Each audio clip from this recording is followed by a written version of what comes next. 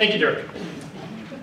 As some of you may know, my name is Andy Sayler. I think Dirk got that part out of the way already. Uh, but I'm also you know that, that guy that did the operating systems YouTube videos and fixes all the broken virtual machines, among other things. Today, though, I stand before you as a fellow graduate of the Department of Computer Science.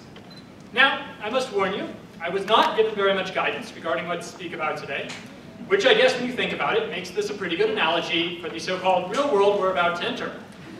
Allow me to be one of the first to welcome you, where we can no longer rely on others to uh, spell out in great detail what they'd like for us to do. Good luck. I would also like to note that I'm a bit of a strange choice for a graduation speaker. After all, I'm a little bit like the Punxsutawney Phil of higher education.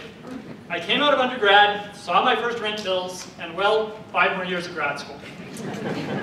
That makes this kind of like asking Mick Jagger to give a speech on how to retire from rock and roll. If you didn't get that, it's okay, it was for your parents. but since I've been afforded the privilege of speaking to you today, I'd like to commend everyone on their accomplishments over the last four five, or in the case of some of my fellow graduate students, 15 years, uh, pursuing their grad degrees here at CU. Congratulations to everyone here today. The degrees you're being awarded are certainly well earned, and will surely serve you well in the future.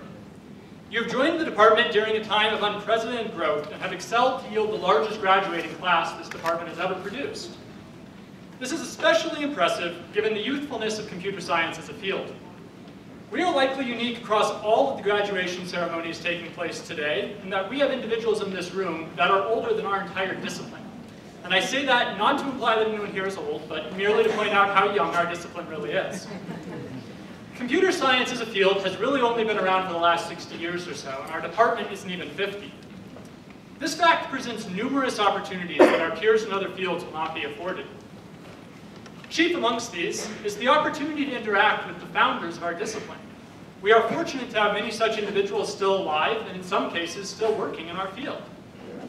If I am to impart a single suggestion to you today, it would be to strive to exploit this fact. We are as physicists in the age of Newton or astronomers in the age of Galileo. Take full advantage of this and endeavor to meet, work with, and learn from those who have paved the road we now walk. It is a rare opportunity that we have, and we will be some of the last computer scientists ever afforded it.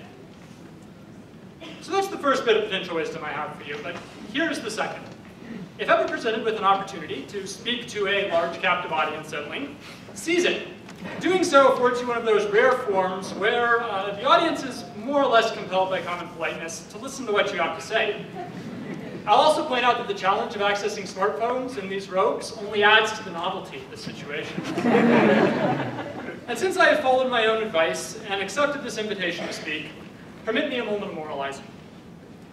We are fortunate to work in a field that society, for better or worse, values quite highly.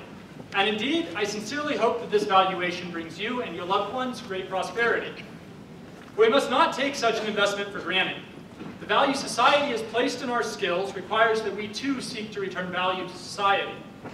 Through computer science, we have the potential to bring great benefits to the world, but we also run the risk of doing great harm. It is not inconceivable that the work we do to increase efficiency through the automation of day-to-day -day tasks will have a hand in the elimination of a large number of existing jobs, likely exacerbating issues of economic inequality that our society already faces. The work we do connecting the world via the internet has heralded an unprecedented, unprecedented age of human communication. But it also raises numerous privacy challenges as governments and corporations alike seek to surveil the ways in which we speak. Self-driving vehicles have promising environmental and safety benefits, but these systems will be required to make life and death decisions dictated by the code we craft. These are not challenges to be taken lightly nor are they ones we can afford to kick down the road for others to solve. These are challenges that will not be solved by the talking heads on the evening news, nor in the uh, comment threads of the internet. It is our duty as computer scientists and as humans to ensure that we work to minimize and offset any harms that may come from the goods we seek to provide. We have all been afforded a great privilege to have been able to obtain the degrees we now hold. We must apply that privilege in the highest manner that we can, Having had the opportunity to know many of you during my time here, I have no doubt that each and every one of you can rise to meet these challenges and will resolve them in a manner befitting of the degrees you now hold. If you are able, volunteer some of your time to support the work of worthy organizations who otherwise might not be able to afford your talent. Endeavor to ensure that others are afforded the same privileges we have had, perhaps by teaching or mentoring those interested in our work, or by donating to educational institutions such as ours. And in everything you do, be conscious of the ethical ramifications of our work, and have the courage to speak up if you feel errors of judgment are being made. Society values us and our skills very highly, and we must endeavor to return the favor.